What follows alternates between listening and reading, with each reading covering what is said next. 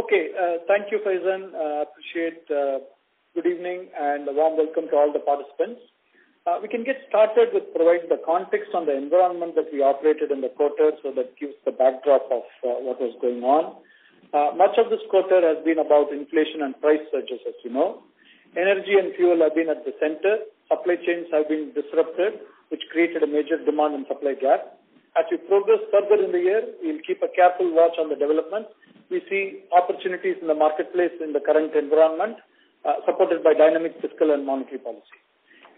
Activity indicators released during April to June quarter indicate that economic activity continues to hold up well despite global risks. GST collections, manufacturing, PMI, IIP, credit, rail freight, services, PMI, etc., etc., show robustness and opportunities in the economy. The RBI raised the policy rate by 90 basis points in the quarter, taking the repo rate to 4.9. The Monetary Policy Committee also voted to remain focused on withdrawal of accommodation in a calibrated fashion to ensure inflation remains within the RBI's upper band while supporting growth. Accordingly, we have responded with appropriate lending rate increases. Now let's start. Let's let's go through. Let, us talk about the five themes at a high level um, uh, now. On the distribution expansion, that's the first thing. We added 36 branches during the quarter, and 250 more are in various stages of readiness to be rolled out. Uh, we have 15,618 business correspondents, an increase of 277 over prior quarter. Gold loans are now processed at just over 2,000 branches as against 1,340 branches in the prior quarter. It is well on the way to be a product offering in most of our branches. Payment acceptance points have grown to 3.2 million, a year-on-year growth of 42%. Wealth management is now offered in 357 locations through hub-and-spoke model. We have expanded to 141 new locations in the quarter. This is in accordance with our plan to take this to deeper geographies in over 900 locations in the current financial year. Uh, in commercial and rural banking, SME is now offered in 640 districts in our drive to expand the SME market share. Uh, next, on uh, let's talk about a few comments on the customer franchise building. Uh, during the quarter, we added 10,900 plus people and 29,000 people over the year, over the past 12 months. Our people have acquired 2.6 million new liability relationships in the quarter, exhibiting a phenomenal growth of 59% over the same time last year and 10% over prior quarter. We've also acquired 1.9 lakh MSE accounts in the quarter. On cards, we have issued 1.2 million new cards during the quarter, highest ever, with a 47% growth over prior quarter. Total cards base now stand at 17.6 million. Moving on to next, our focus on the granular deposits. Deposits at 16 lakhs 4,000 crores increased by approximately 46,000 crores in the quarter as against an addition of approximately 11,000 crores in last year, June quarter. Deposits reflected a year-on-year growth of 19.2%. Retail deposits increased by approximately 50,000 crores in the quarter, up 19% year-on-year and 3.9% sequentially. CASA deposits recorded a strong growth of 20% year-on-year, ending the quarter at 7 lakhs 34,000 crores, with a CASA ratio at 45.8%. Term deposits grew by 18.5% year-on-year, ending the quarter at 8 lakhs 70,000 crores. Uh, next, moving on to advances. Total advances were 13 lakhs 95,000 crores. Growth of sell downs, we grew 22.5% year-on-year. Our retail advances growth continued during the quarter as well. Retail advances grew 21.7% year-on-year and 4.9% quarter-on-quarter. Excluding auto and also two-wheeler, Uh, loans which faced supply chain disruptions during the quarter, the year-on-year retail growth excluding these two were 25%. Card spends have grown by 24% over prior quarter. Payment business advances, payment business loans has grown 27% over prior year and 4.4% over prior quarter. The bank has a market share of 22.4% in cards, 48.9% in card receivables, 27.7% in card spends, and 47% in merchant acquiring volumes. Commercial and rural banking, which drives our MSME and PSL book, continued its momentum with a year-on-year growth of 28.9%. In the wholesale segment, with the rates dislocation, we let go assets aggregating to 40 to 50,000 crores. Uh, despite that, the book grew 15.7% year-on-year. And lastly, on technology and digital. As promised, the bank commenced digital launches to, to enable smooth customer experience. MyCards, which is a microservices architecture that is stateless and deployed on cloud, making it highly scalable. This has emerged as a preferred service tool for our customers with a simplified login and self-service features. We now have, have over 2 million registered card users, a growth of 1 million over prior quarter. We had 33 million customer service addressed digitally during the quarter on this platform. Uh, this microservices architecture design principle uh, de-risks and removes clutter on our digital platform and enhances customer service. Uh, Express Auto Loans is an end-to-end digital service uh, which enables instant and hassle-free car loan disbursements for existing and new-to-bank customers. 60% of our loan decisioning through this service are processed in less than five minutes, uh, with disbursements taking less than 30 minutes.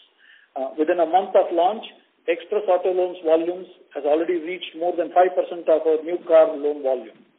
HDFC Bank One, our customer experience hub, has been launched recently on multiple channels, email, social care, SMS, and WhatsApp, and enhances our customer relationship management using AIML and conversational bot, enabling round-the-clock self-service capabilities akin to human interaction.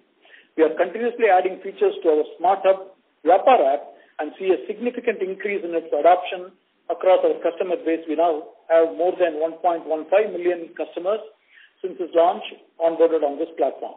In Q2, that is the current running quarter, July to September, we are poised to launch further digital initiatives such as PayZapp 2.0, uh, customer onboarding journeys across more products such as FDPL, balance transfer, EMI, etc., implementing customer experience hub across additional service and sales channels such as phone banking and telesales. telesales. For enhanced customer service and relationship management, we continue to work on developing uh, applications uh, for an, for Q3 implementation. For instance, Wealth app, revamping net banking, revamping corporate net banking, and launch of new mobile uh, banking app in Q4. In, in Q1, we received a total of 231 million visits on our website, averaging 28 plus million unique customers per month, uh, which is a year-on-year growth of about 20%. Uh, business growth continued to gain momentum across diverse products and segments, driven through relationship management and enhanced digital offering. Balance sheet remains resilient. Average LCR for the quarter was at 108% and was at 120% as of June quarter end. Capital adequacy ratio is at 18.1% with CET1 at 16.5%, including profits for the current quarter. Let's start with net revenues. Core net revenues were at rupees 27,181 crore, excluding trading and mark-to-market losses, which grew by 19.8% over prior year and 2.4% over prior quarter. Driven by advances growth of 22.5%, deposit growth of 19.2%, and total balance sheet growth of 20.3%. Net interest income for the quarter at rupees 19,481 crore grew by 14.5% over prior year and 3.2% over prior quarter. The core net interest margin was at 4, based 4.0. Based on interest earning assets, the net interest margin was at 4.2%. Moving on to details of other income. Uh, first, Fees and commission income was at rupees 5,360 crore and grew by 38% over prior year and were lower 4.8% over prior quarter after seasonally strong fourth quarter. Retail constitutes approximately 92% of fees. FX and derivatives income at rupees 1,259 crore was higher by 5% compared to prior year. Trading and mark-to-market losses were 1,312 crore, primarily owing to spike in benchmark bond yields witnessed during the quarter. The mark-to-market losses come from our AFS, HFT, and Government of India securities, corporate bonds, and, and pass-through certificates. Prior quarter was a negative 40, and prior year was a gain of 600 crores. Other miscellaneous income of 1,080 crores includes recoveries from written-off accounts and dividends from subsidiaries. Excluding trading and mark-to-market losses, total other income at 7,700 crores, crores grew by 35% over prior year. Operating expenses for the quarter were at 10,502 crores, an increase of 28.7% over prior year due to a low base of prior year COVID wave 2 impacted quarter and increased by 3.4% over prior quarter. We added 725 branches and 2,329 ATMs since last year, taking the total network strength to 6,378 branches, 18,620 ATMs, and 15,294 business correspondents managed by common service centers. Core cost to income ratio for the quarter, excluding trading and mark-to-market losses, was at 38.6%. Moving on to PPOP, our earnings trajectory improved with continued retail growth. Our core PPOP grew 14.7% year-on-year and 1.7% sequentially. Our pre-provision operating profit was at 15,368. Uh, coming to asset quality, the GNP ratio was at 1.2% as compared to 1.4% prior year. Out of the 1.2% to, to 8%, about 18 basis points are standard, thus the core GNPA ratio is 1.1. However, these are included by us in NPA as one of the other facilities of the borrower is in NPA. But we'll talk about 1.28. We'll have to anchor with that. Uh, as you have seen in the past several years, agricultural segment has a seasonal impact in June and December cycle. GNPA ratio, excluding NPAs in agricultural segment and, and a one-off, was at 1.03%. Prior year was at 1.26% and prior quarter was at 1.01%. In net NPA ratio was at 0.35%, prior year was at 0.48%, preceding quarter was at 0.32%. The, the slippage ratio for the current quarter is at 0.5%, to rupees 7,200 crore. Excluding the seasonal agri and one-off slippage, the slippage in the current quarter was approximately 38 basis points, call it 0.4%. During the quarter, recoveries and upgrades were approximately 3,000 crores or 22 basis points. Write-offs in the quarter were 2,400 crores or approximately 17 basis points. There were no sale of, of stressed or written off accounts in the quarter. The check bounce rates across the products in June continues to remain lower than the pre-COVID levels for almost all of the retail products. The restructuring under the RBI resolution framework for COVID-19 as of June end stands at 76 basis points, 10,750 crores. In addition, certain facilities of the same borrower which are not restructured is approximately 13 basis points or 1,800 850 crores. Uh, that, that totals to 89 uh, basis points. Provisions reported were around 3,200 crore as against 4,800 crore for the prior year and 3,300 crores during the prior quarter. The provision coverage ratio was at 73%. There are no technical write-offs. Uh, office and branch books are fully integrated. At the end of current quarter, contingent provisions and floating provisions remained close to prior quarter at 11,100 crores. General provisions were 6,500 crores. Total provisions comprising specific floating gen, contingent and general provisions were about 170% of gross non-performing loans. This is in addition to the securities held as collateral in several of the cases. Floating contingent and general provisions were about 1.25% of gross advances as of June quarter end. Now coming to credit cost ratios, the total annualized credit cost for the quarter was at 91 basis points. Prior year was at 167 basis points. Prior quarter was at 96 basis points. Recoveries which are recorded as miscellaneous income amount to 23 basis points of gross advances for the quarter, as against 14 basis points in prior year and 26 basis points for prior quarter. Total credit cost ratio net of recoveries was at 68 basis points compared to 1.53% in prior year and 70 basis points in prior quarter.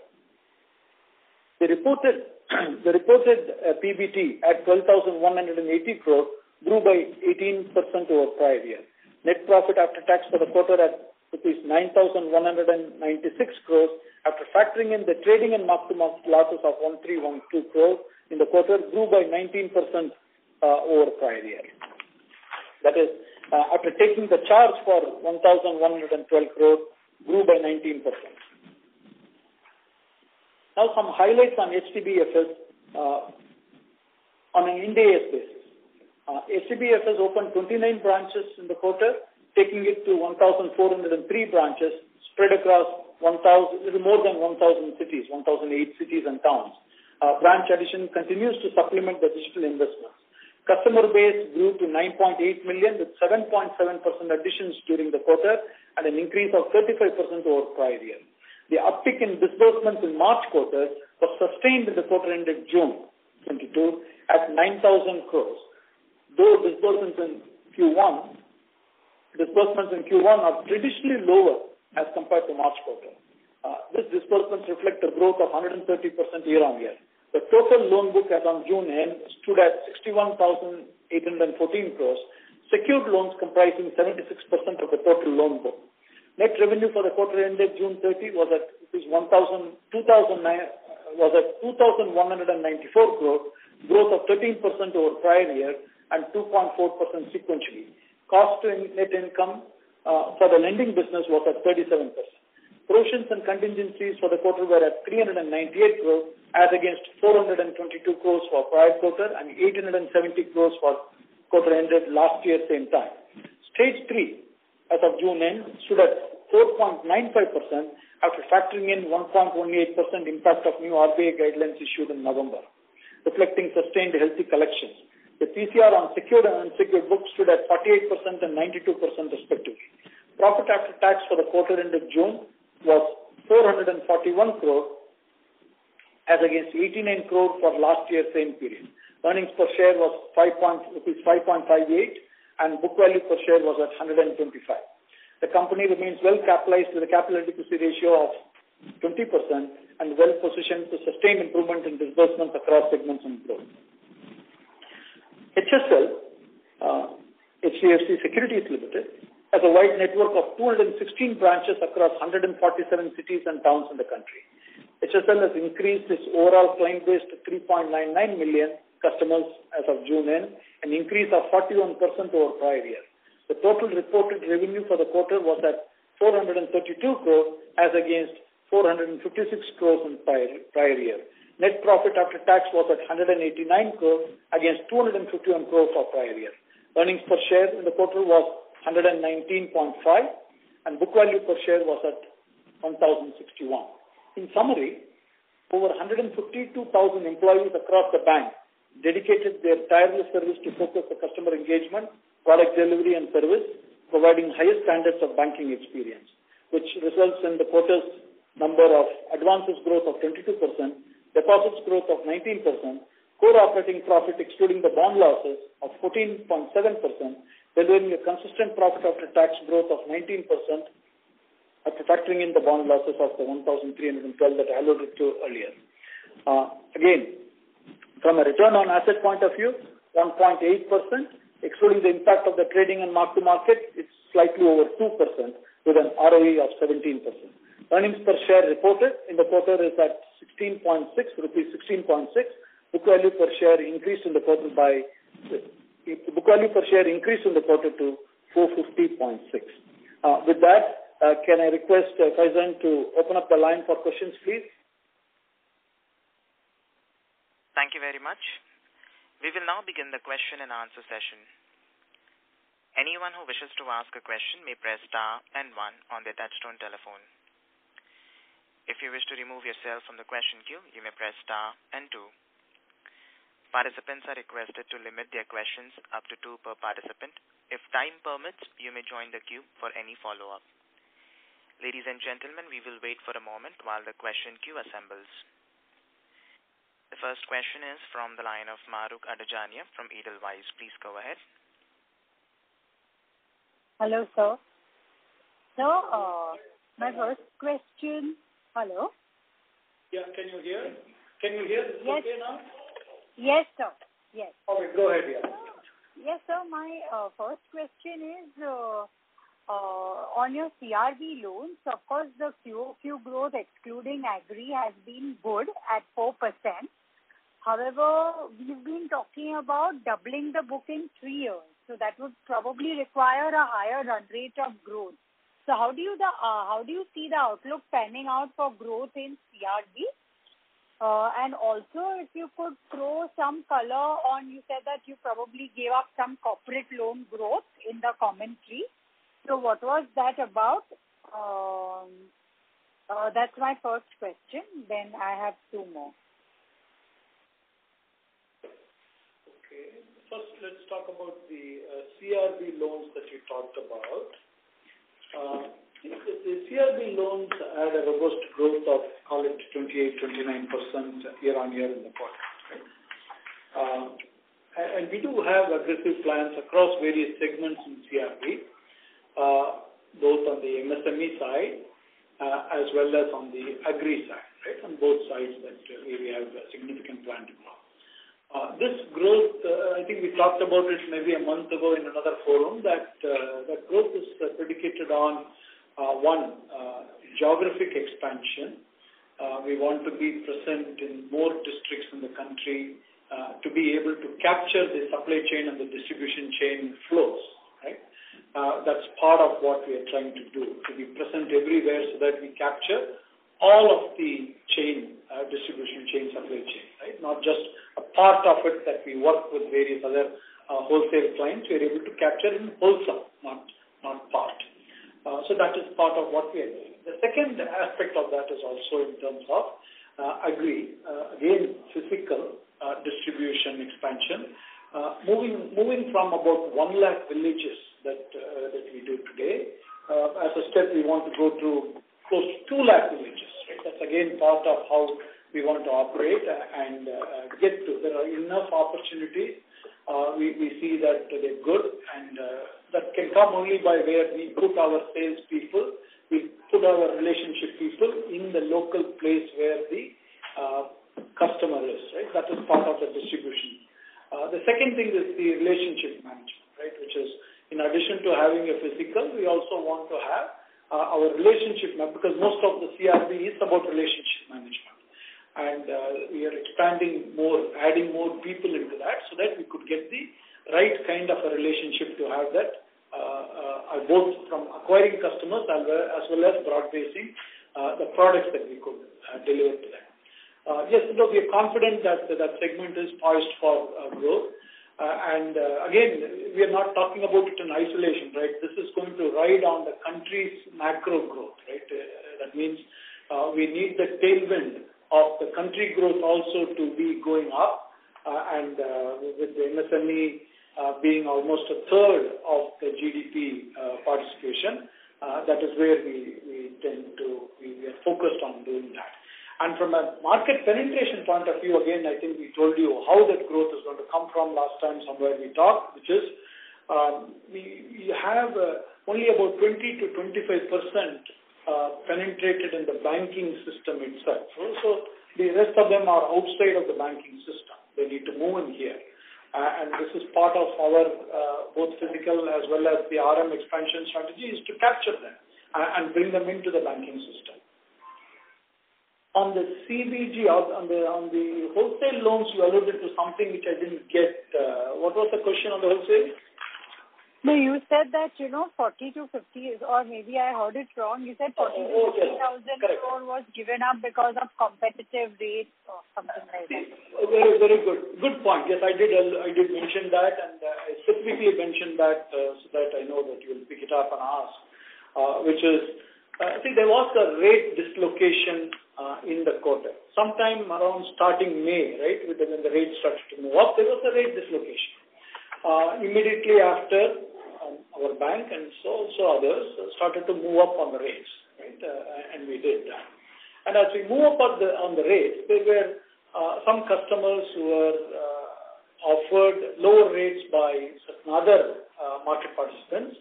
And we, we do not want to cut back on our rates to keep them, right? We said, "That's fine, because we do have a relationship." It's, uh, we do continue to have relationship with those customers, the 40,000-50,000 who went and took. We continue to have, except that we didn't uh, endeavor by price uh, to keep increasing those shares, right? So we said, "That's fine to let go, So let somebody else can take it at a lower price than where we do." And uh, that, that is what I alluded to. Okay. Sir, was that PSU banks or private banks? Broadly, it was across everywhere, so, like, I'm not going into the details, but. Okay. Across the bank. Okay, sir. Okay, sir, can you please quantify the slippage figure, as in, the absolute amount, if you can? I think I gave that 7,000 to 7,200 Sorry. or something, I did mention that, yeah. That's the 50 basis points or 0.5%. Got it. Sir, how much of that would be from restructured? Uh, I didn't give that, but I can, I alluded to that uh, the slippage amount has got uh, agri and the wholesale one off, uh, which uh, contributed almost to, to little more than 10 basis points. So net of that, it was 0.4 or 38 basis points I alluded to.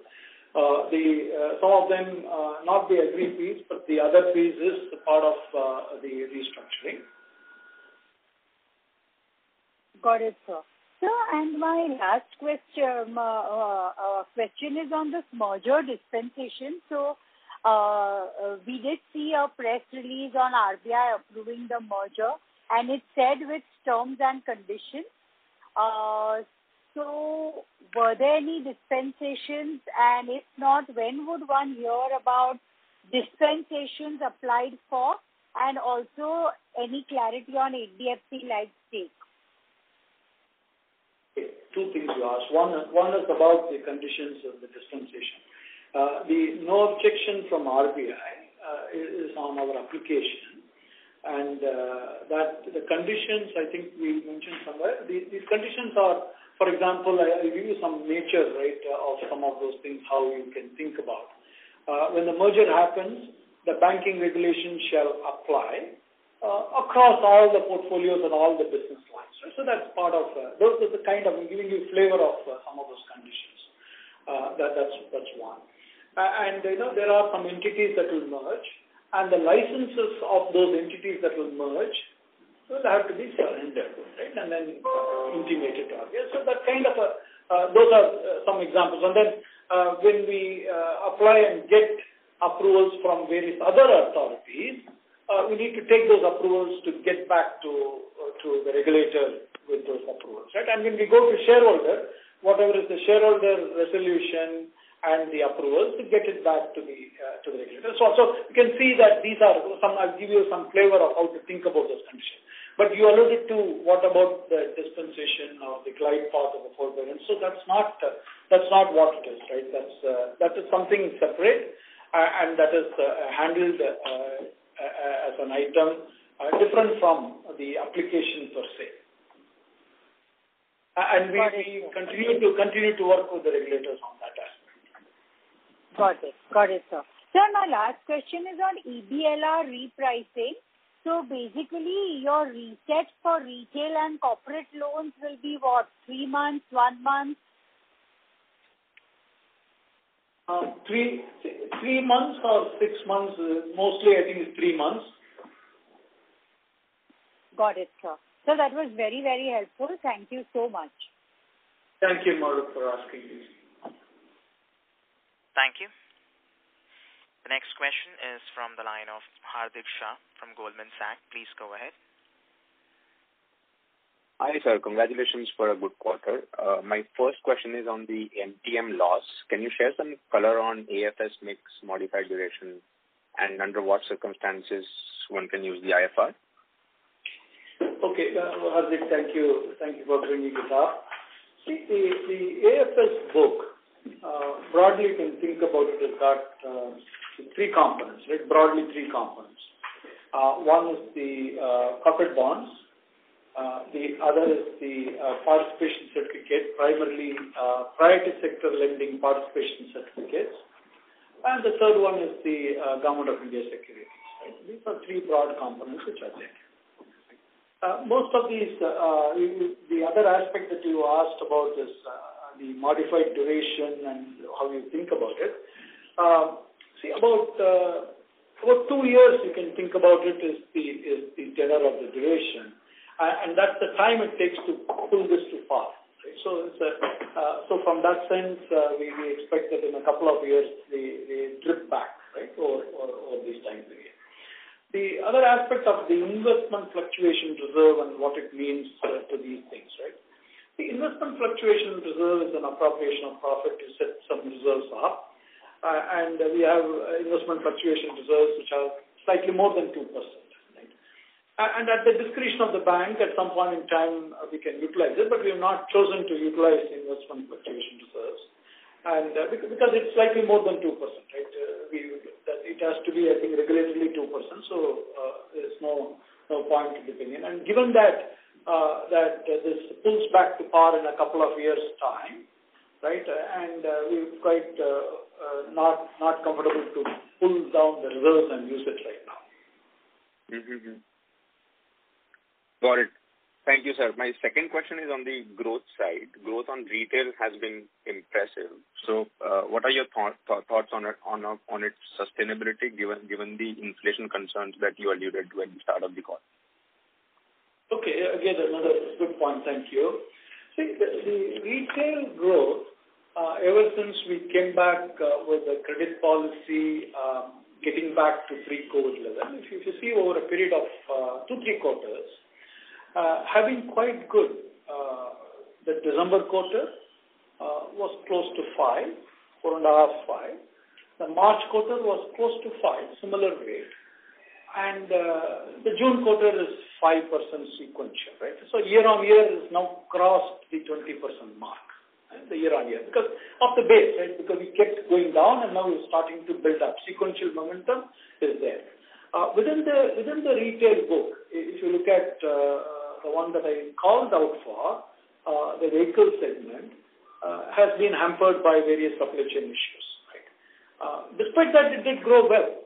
we did have quite a good growth, but then if you put that to the side and give more time for that to grow, the retail, excluding that vehicle segment, grew by almost 25% year-on-year. Right? So this again a solid growth. then the other aspect of how to think about the uh, environment and the growth, right? We, we do see good amount of demand uh, across most of the products, uh, from from unsecured product to secured product to mortgage product to home loans and across everywhere we do see that, right? including the gold loan and so on. Uh, I think we published that list of various products and the growth rate, so you can see that is balanced across. Card loans, let's talk about credit cards, the last I do want to mention. Uh, the card loans do have uh, very good spend, uh, I think 24% or so uh, sequential spend increase. Again, uh, discretionary, uh, if you look at the discretionary spends have gone up even more, right? Most this growth in the card spend is driven a lot by discretion, and it is discretion could you can take it as also seasonal in the summer months or holidays months. A lot of travel, entertainment, hotels, and so on and so forth. They're all coming back to life, and you're seeing pickup, huge pickup on that. Uh, the second aspect of the spend is that is the spend translating into loans, right? And which to some extent it is, uh, but to a large extent it still needs to come more, right? It is still not fully there hard uh, from a loan growth point of view. Uh, it will take uh, uh, some more time, I think, while, while uh, Uh, over prior year or the prior quarter sequential is 4.4% uh, is the sequential growth rate in uh, payment products. Uh, for it to pick up and go further, uh, we'll have to wait for people to utilize their credit lines fully. Still, the credit line utilization on cards is at, I call it, 70 to 80% of the pre-COVID level. So a lot of credit lines utilization still left to go. Uh, and the liquidity in the hands of the customers is also there, right? These customers from a relationship point of view, uh, about five times our customers have uh, for, for the 80,000 crores of payment balances, payment business balances that we have, five times that we have liabilities from the similar customer segment. So we do see that uh, people have good amount to, to uh, of money and line utilization to happen. So we expect that uh, with the pickup that is taking place right now, we need to give some more time for that to do. Uh, similarly, on the revolve rates, you didn't ask, but uh, I'm sure another person would be thinking about asking, so I would allude to the same thing. Uh, the revolve rate pickup also has not happened yet, right? Uh, first, spender needs to happen, which is happening now. Two, three quarters we are seeing spend happening. Spend translating into loans, slightly picking up, sequential 4.4, right? Uh, picking up. Uh, then the next thing is that the line utilization happens, and then comes the revolving, right, uh, to, to come with that. So some, we have a few quarters away before uh, it gets there. Got it. As a follow-up to that, sir, what are your thoughts on the sustainable revolve rate going forward in the industry? It will, as, as the economy starts to pick up and people spend, uh, which you are beginning to see, discretionary spends you are seeing is happening, uh, once the discretionary spends happen, you will see that the people will uh, get back to uh, the previous. See, over a period of two years, uh, both uh, both uh, either in our bank or in some other bank, uh, people were uh, call it uh, for lack of some other word, uh, chronic revolvers. Right? That means habitually revolving for more than six months, nine months out of the 12 months have, have come down because either uh, they are uh, having a bad score in the bureau or they are having a bad score with us and uh, they are utilized their limits so we are not, we are tightened on the limits are not given because we want to be cautious. Uh, so we need to wait for the things to come back and then they will start to spend and the revolve will start. We're quite confident that the customer base that we have and the, uh, the type of spend that they do uh, will get back to the, what we have seen pre-COVID from their spend habits and revolve uh, kind of uh, uh, attitude on that. Got it. Got it. Sir, last question on deposit rates. You've been taking the rates higher, so how should we think about this in the next few quarters? As how much hike the bank would consider taking, and how is the competitive intensity uh, increasing on that front? Pricing, we you're talking about more the time deposit pricing, uh, because the other uh, CASA, of course, nothing, the savings account is has been stable. Uh, the time deposit we have uh, slightly only increased uh, over the last month to two months. We're not taken it up all the way what has happened. And the way we think about the pricing is there are two elements to it, right? One, uh, customer, uh, you're able to get to the right kind of a customer to have the deposits, and, and what is the price sensitivity of the customer uh, to get those volumes in. So that, that's always a, uh, kind of what we do, engaging with the front line who in turn engages with the customer. So we get that intelligence and discuss in ALCO to say uh, how uh, we are able to get those volumes at what kind of a price point uh, that we can get. And the second aspect of our determination of the price is also competitively pricing. Right? Competitively pricing means uh, looking at certain other banks to see that you know we are relevant in the market and we don't want to be price leaders by pricing up anything. Uh, but at the same time, we have to be competitive, right, within within certain range. Uh, that is all. These are a couple of considerations we do, and we discuss this in the ALCO as a team uh, and decide how we want to pitch ourselves to the customer. Got it. Got it. Thank you for your time, sir, and congratulations again for, for a good quarter. Thank you. Thank you. The next question is from the line of Kunal Shah from ICICI Securities. Please go ahead.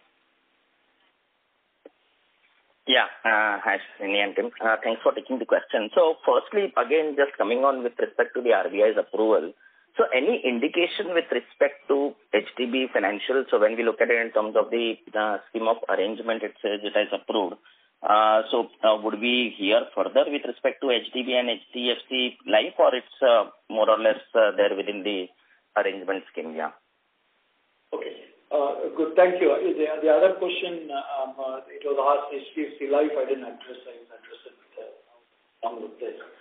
Uh, Kunal, on the uh, HDB, first, first the RBI approval is a no objection to the scheme of amalgamation that has been filed. Right? The scheme of amalgamation uh, doesn't have a role for HDB there. HDB is a subsidiary, existing subsidiary of the bank, and, and continues to be there. Right? Uh, and so the scheme of amalgamation does not have anything to do with HDB. And uh, so that's, that is, if anything we need to do, it's a separate conversation, it's a separate process and so on. So it is not combined with the scheme. Uh, we find the scheme and the scheme does not have anything to do with HDB. Uh, HDFC Life uh, is uh, currently a subsidiary of HDFC Limited and it is envisaged that on merger uh, that it will be a subsidiary of the bank. Uh, there are two things in this, right? One, in uh, as a as a RBI regulation, uh, a bank holding life insurance has to be 30% or below or 50% or above. Currently, HDFC Life holding is about 47.8 or so.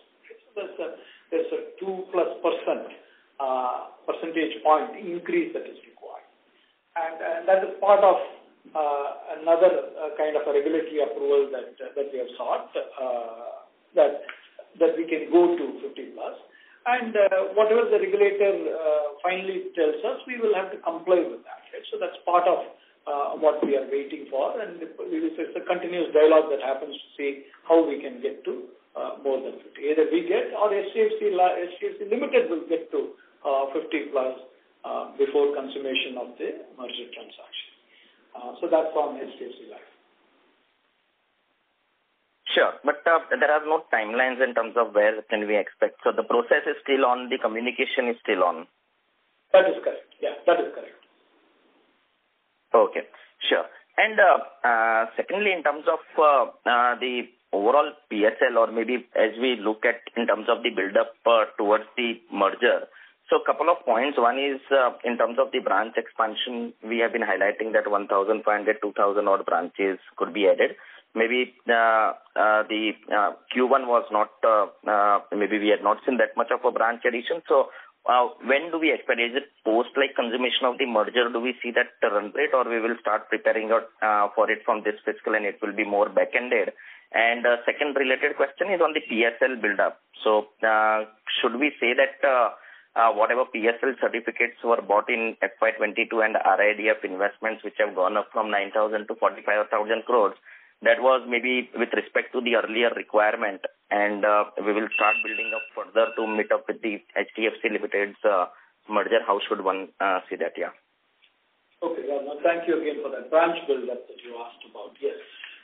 This quarter, the branch build-up was lower, 36 or so, but we have about 250 branches in various stages of getting to getting to be implemented. We are not going to wait Uh, for for uh, anything. The branch buildup uh, is an organic process. Irrespective of any kind of an outcomes, branch buildup is the right thing to do for the bank from a growth point of view. That is where we have embarked on, and we we see opportunity. Branch has got, I think we talked about it again in the past, branch has got two aspects to it, right? One, you have a branch which develops the brand in the vicinity of where the branch is and draws in customers uh, through brand attraction. The second thing is the branch is a congregation of our sales force. If you don't have branch, you're going to have a sales office. We can call it that. We're going to open X thousands of sales office. So we rather open X thousands of sales because the kind of a travel that a sales relationship manager need to do to in their outreach to meet a customer or a prospective customer, we want to keep it to one to two kilometers rather than to four, five or six kilometers. It gets in better productivity and gets in better influence to consummate the transaction well. Uh, that's part of what we have envisaged and we're going to. The branch buildup will happen. Uh, it's not waiting for anything. Uh, it's a question of a process to to get that implemented. It's in progress to happen, right? So even in this financial year, you will see some substantial branch uh, accretion that happens. Uh, The second aspect that you touched upon is the PSL, right? Uh, And you touched upon the RIDF on PSL. There are there are several strategies to grow PSL. Organic buildup of loans, PSL eligible loans, is the best method to do because it gives fantastic returns. It gives great returns. Uh, going through our credit filters, because of tried and tested credit filters, uh, it gives you the best returns that you can, and the returns far and far more than the average of the bank. Right? So we are quite enthused to do PSL organically to the extent it comes through our credit filters. Uh, in the past year and two years, when we have had uh, muted retail to some extent, the PSL uh, component is also lower because you did not get the retail as much. But as we are now opening up more retail and going, uh, you see that the PSL comes back organically. Still, uh, it's only one of the components because we don't uh, we don't leave other components on the table. We want all of them. For example, organic is one, where I think we have said that it is little more than, call it, um, in 30%-35% or little more than two-thirds to 70%-75% we get through organic. And then there are other tools that we always use, and we want to continue to use them. Uh, One is the PSL certificates.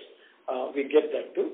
The other one is the RIDF, uh, is also something where uh, there's always a trade-off that is done, right? Uh, What is the organic that you can build within your credit filters? Uh, and if you go outside of your credit filters, what sort of a credit cost are we going to end up? Uh, and so thereby, what returns? What is the cost of the PSLC? What is the cost of RIDF?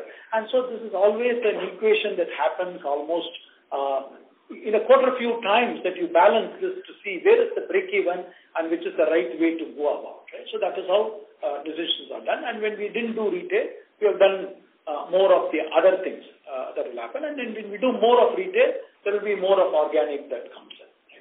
So that's how you think about the PSL.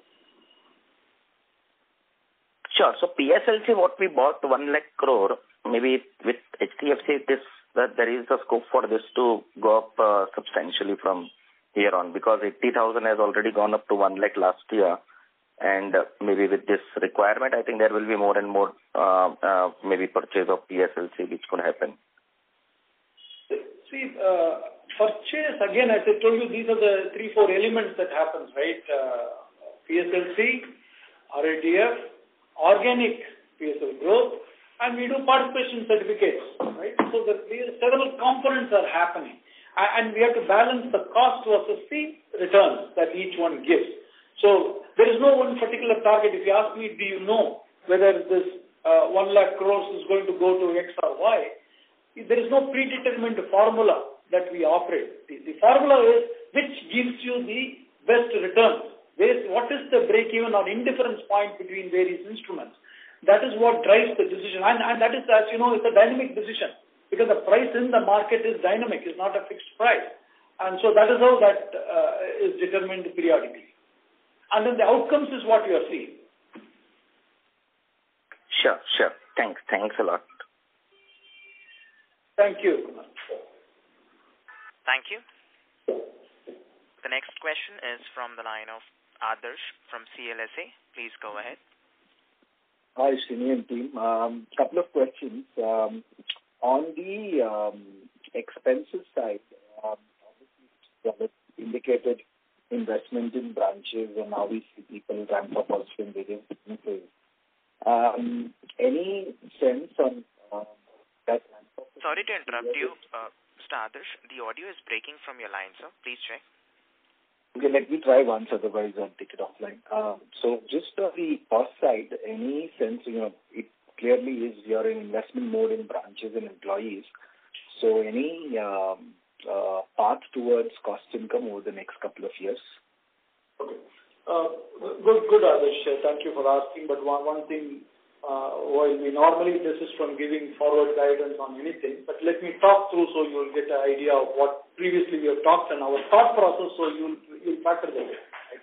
One, uh, from a top line point of view, the growth is picking up, right? Uh, you've seen that over a period of time.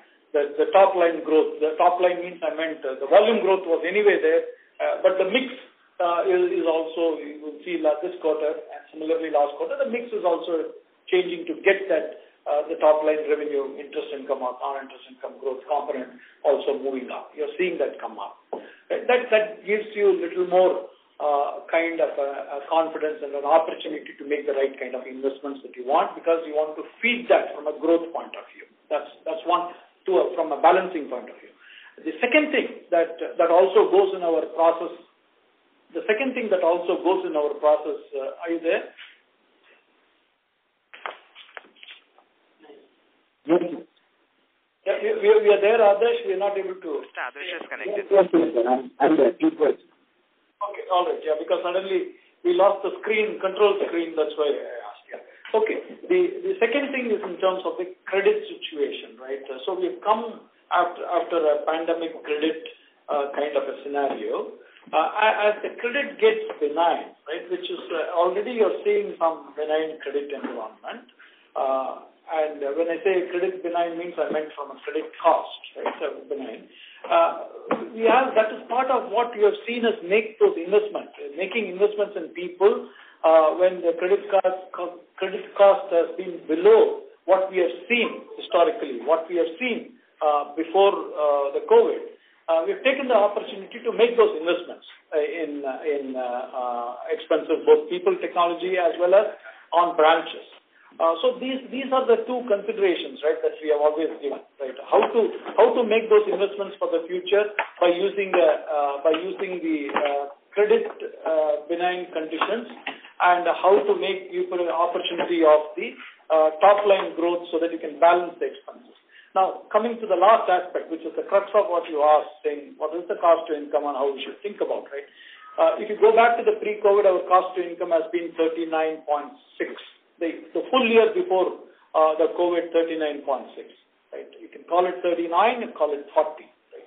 Uh, we've always said that as the retail picks up, retail is an upfront cost, and and the uh, the top line comes uh, with a lag and uh, and comes over a two three year period, right? So you you put the cost in and it comes over two three year period. That's that's the that's the nature of that retail. Once you want to grow retail, that is that is the way it happens. And you're seeing that pick up. And we have said that oh even through the COVID period when when even when we wanted to spend, we did not have the opportunity to spend.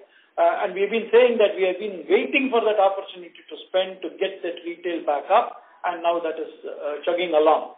And uh, so the, the cost to income uh, on an overall basis, call it 40, uh, 40 uh, or so, which is the pre-COVID. Uh, quarter to quarter variations will happen, right? Uh, and, and if you ask Sashi, I think he's told in the past in certain other uh, meetings that quarter to quarter variations can happen because it's a question of a timing. But over a period of a year, uh, two years, if you see, you can touch 40. But over a medium term, three to five years, this is something as a forward guidance normally which we don't do, but for a cost to income, what we see as an opportunity, we said it will get to the mid-30s, right? And uh, which is what we said pre-COVID, but this COVID has put a halt to that, uh, changing the composition of the product mix as well as our spend mix.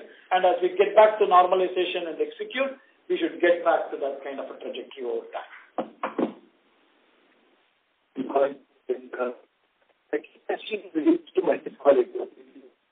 Uh, sorry to interrupt you, Mr. Adarsh. The audio is breaking from your line.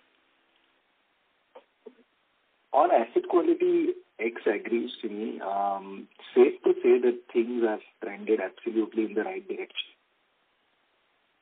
Yes, yes. yes. Right. So what is the risk that uh, your credit cost income? As of now, it looks like it's most of the segments, uh, it should undershoot or some foreseeable future. You talk about the credits, right? You talk about the NPA? Yeah. Agree, agree. And, uh, X of, X of agree, uh, it has been quite good if you see at an aggregate level.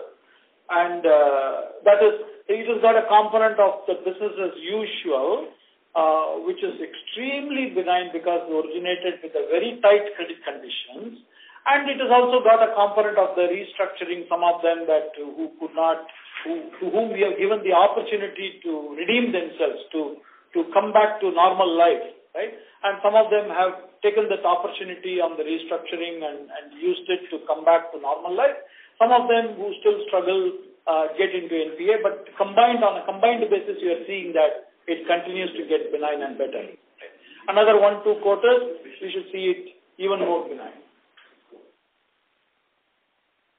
So this is uh, useful. That's it from my side. Thanks for answering questions. Thank you. Thank you. The next question is from the line of Abhishek Murarka from HSBC. Please go ahead. Yeah, hi, good evening, uh, Srini and team, and congratulations for the quarter.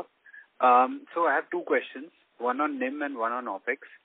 On NIM, uh, when does the repo hike that happened in May, June, when does it fully translate into yields? Would it be by the end of August or September? And uh, also, if you can share the EBLR repo, non-repo, and uh, you know fixed and floating breakup for the loan book, that would be useful. Okay, yeah. Uh, first on the NIM, right? Um, the repricing, uh, the repricing starts, right? It started in May, and uh, there's a cycle, at least a three-month uh, cycle, and some of them are a six-month cycle in terms of uh, what happens. Uh, so that's on the NIM. And uh, so it is not just that.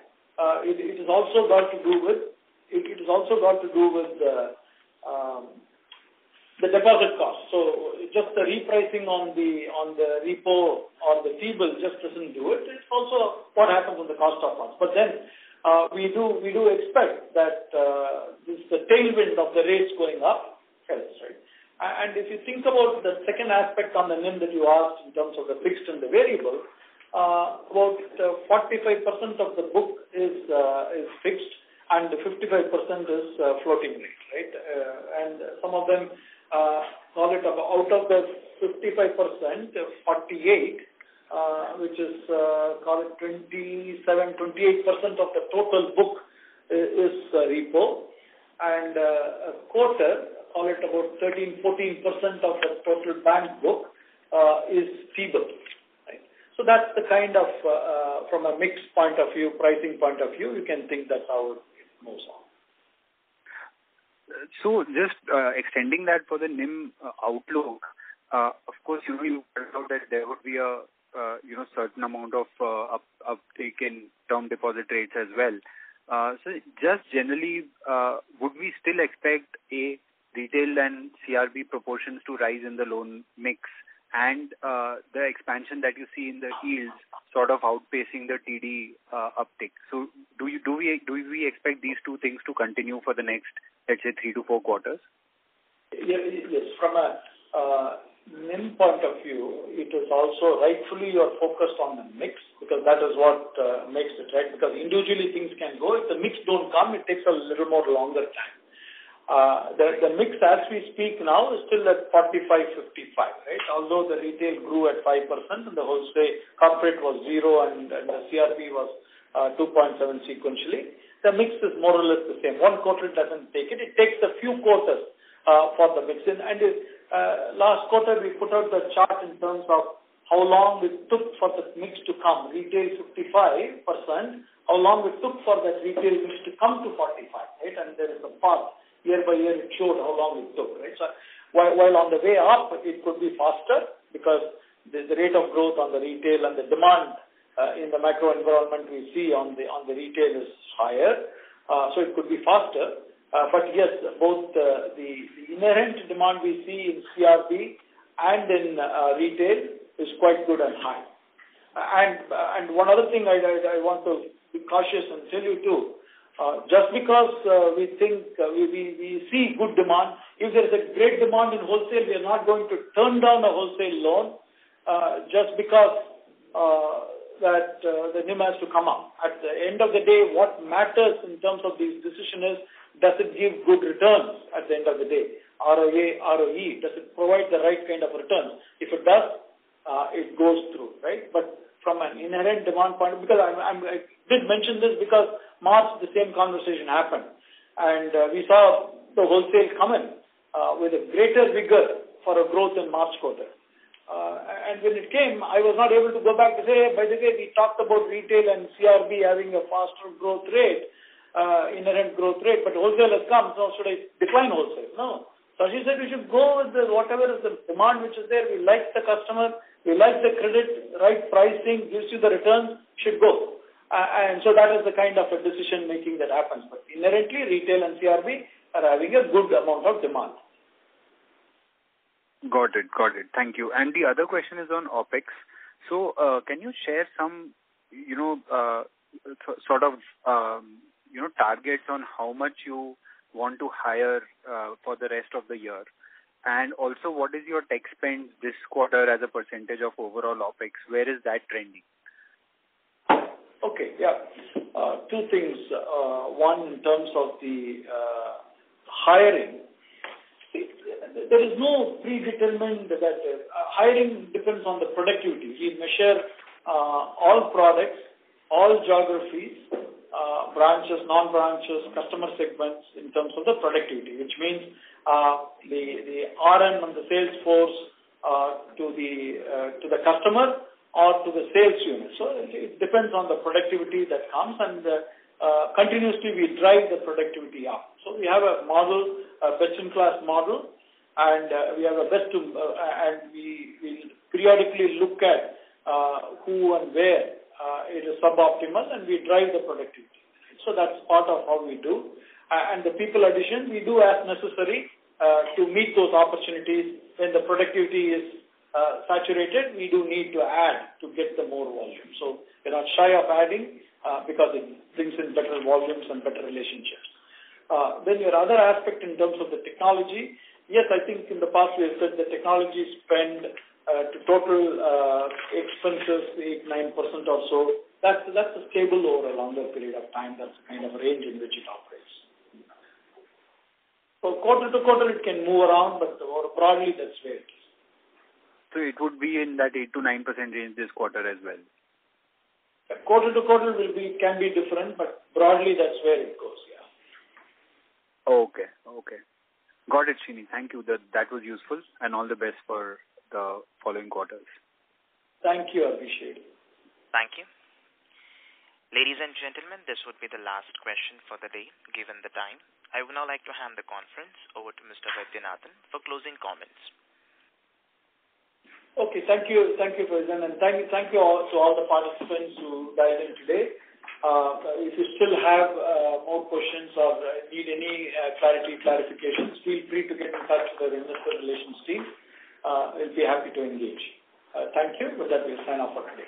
Bye-bye. Thank you.